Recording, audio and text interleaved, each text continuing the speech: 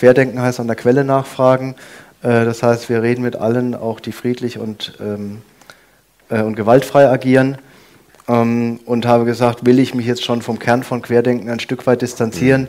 indem ich sage, ich habe jetzt Angst davor, sagen wir, das, was andere dann darüber sagen, äh, mich davon ein, beeinflussen zu lassen. Und da habe ich gesagt, nein, das will ich nicht. Das wäre der, der erste Moment, wo ich schon Querdenken aufweiche. Der erste mich, Sündenfall sozusagen. Und wo ich mich auch von den Medien wieder beeinflussen lasse. Mhm. Weil für mich war schon die, also es war für mich ein Mysterium, warum viele Teilnehmer, die auf den Demos waren, sich dann ja auch davon haben beeinflussen lassen, was auf den Demos, äh, was über die Demos geschrieben wurde. Also da wären Nazis oder da wären Rechte oder die hätten einen Reichstagssturm gemacht oder was auch immer da geschrieben wurde.